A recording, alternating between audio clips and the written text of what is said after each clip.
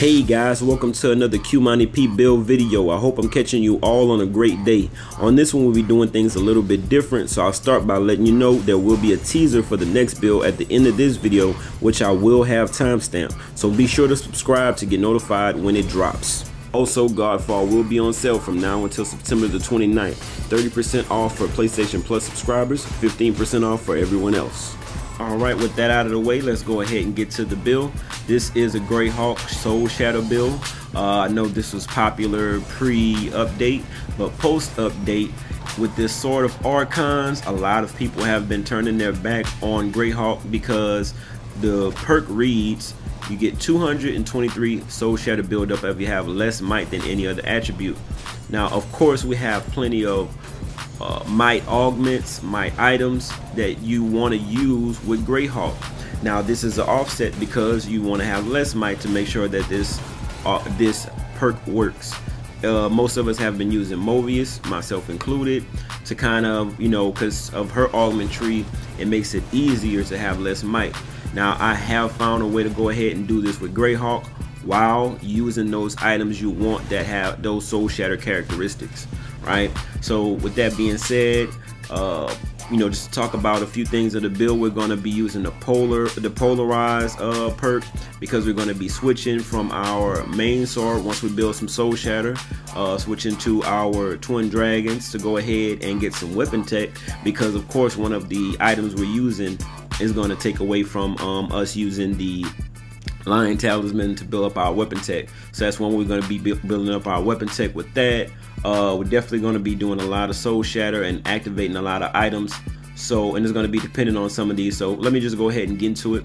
Of course, you know, I already gave you the perks and the sword of Archons. The secondaries we have there are damage to cursed enemies, which is helpful, and crit hit chance, not necessarily needed, uh, but definitely some soul shatter build up. I wish I could go back and update that, but you know, most of it is what I need. All right, I'm using the twin dragons. You don't necessarily need the twin dragons. I'll go ahead and put a picture up of the other dual blades you can without the dual perks. But as I mentioned, you want this perk on here to give you weapon tech when you soul shatter an enemy since we won't be able to use the lion's talisman. Now speaking of that, the talisman we will be using is the cat talisman. It triggers soul shatter items whenever you deal 20,000 or more soul shatter damage.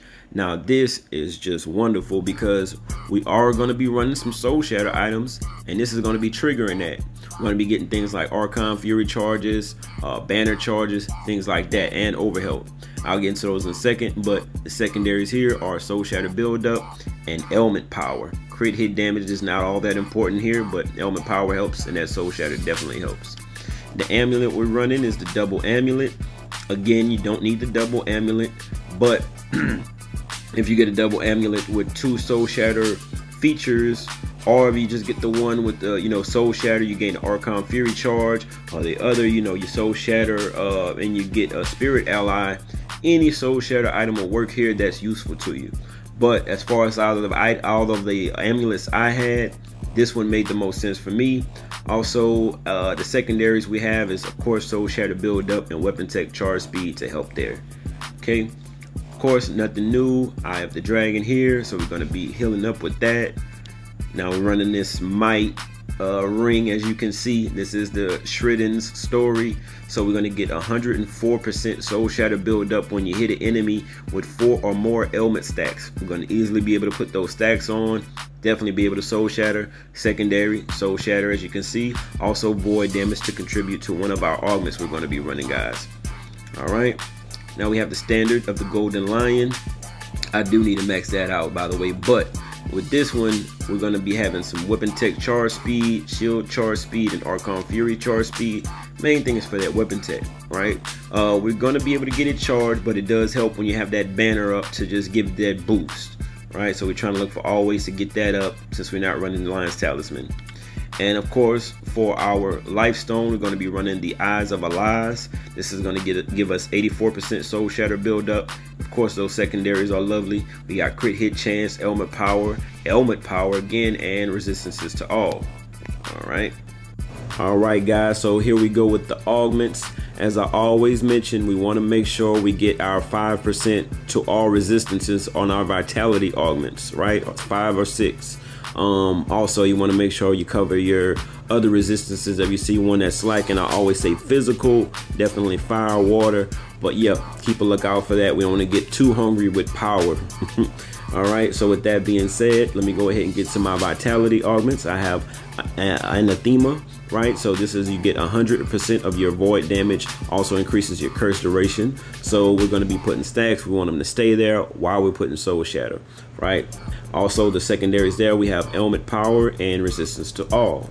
Okay, our second vitality augment is Tarnished Heart. You get 75% curse power while you have no blessings. Now, I did mess up and I upgraded on my ascension level, and now when I hit weak points, I get blessings of endurance. So that's a gift, that's a blessing and a curse, right? Um, but yeah, so sometimes I have to watch out for that. But when I don't hit hit the weak point, it's perfect because it's giving me that extra curse power. Um, secondaries there, we have physical resistance because I want to stay alive, uh, void damage, and resistance to all. Now with our spirit augments, of course I had to throw an expanded mind. Reason being because I was slacking in spirit, guys. Um, this gives us a boost to spirit, and I definitely wanted to make sure I was above where my might was. So this was very important. I threw this here, and also I have a might augment. I put spirit at the bottom so I could get a boost in spirit there, and the spirit augments that are adjacent to it has spirit as well. But just to say that's why I have expanded mind. Uh, the secondaries there are takedown, Ailment Power, Vitality. All right, other spirit I have is Respite. So this one you get 3% banner charge whenever you soul shatter an enemy. Remember that cat talisman, guys. That comes into play there. All right, the secondary we have is void damage, of course, well, contributing to our other augment. Um, also, we have ailment duration, not too important. Um, vitality, which is helping us beat that might. Okay. All right, now we have Karmic Soul. This restores a life stone whenever you place a banner. That is helpful, but we wanted to make sure we had a spirit augment, so that worked fine for me there. I could go ahead and get extra life stone. Also, those secondaries are ailment power, damage to cursed enemies, and vitality. All right, and now for my mites, I have, well, one more spirit, sorry about that. So I have uh, primal energy gain 106% overhealth whenever I use a life stone. Uh, again, not too important, but those secondaries I have Ailment Power and Vitality. All right, now for the might augments, I have focus. So I gain 72% overhealth when I perform a crit hit. I'm not getting too much crits, but you know I do. It help. It helps. Um, but those secondaries are soul shatter, and again that spirit, all right? And we got that extra to that spirit. Now next we have resilience. All right, as you can see, we gain 128 overhealth whenever we soul shatter an enemy.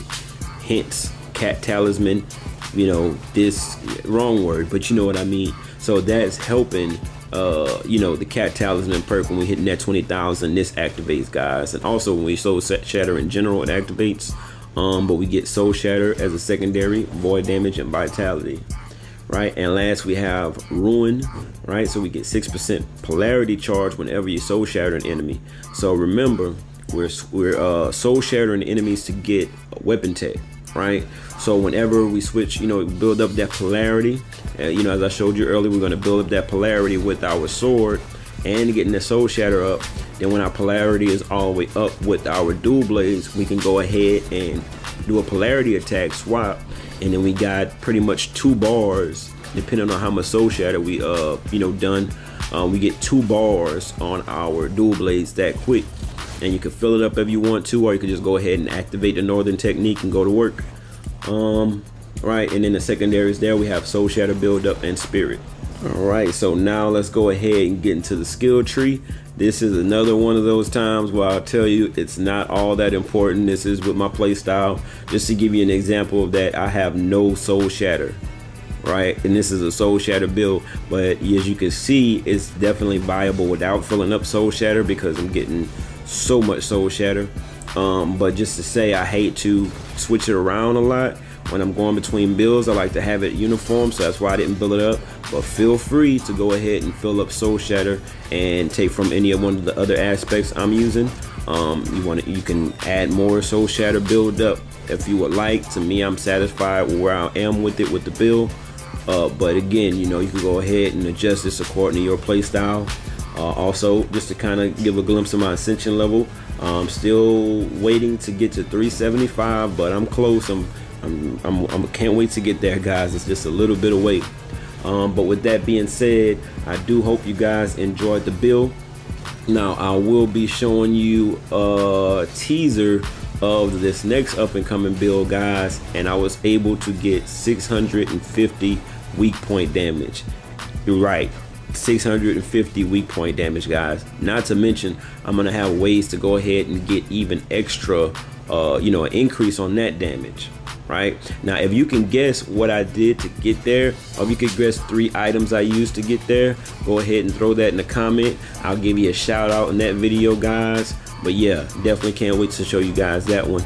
All right now I do hope you guys enjoyed the build. Uh, definitely as I always mention go ahead like comment subscribe. Let me know what you would change. Go ahead and try the build guys.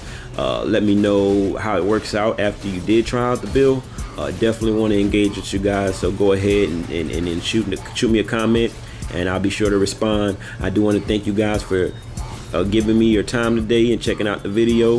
Uh, hope you guys enjoyed it and I'll see you in the next one. Hope you guys enjoy the footage. Have a great day